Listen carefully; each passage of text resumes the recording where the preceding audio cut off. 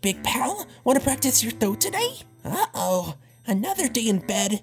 This needs to stop, buddy. Ever since I moved to the neighborhood, I haven't felt like going out. You can't let your fear control your life. You need to face it or you'll be hiding here forever. I know, man, it's just so hard. Oh, God.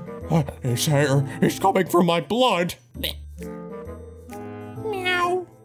He can smell my fear. Hide me.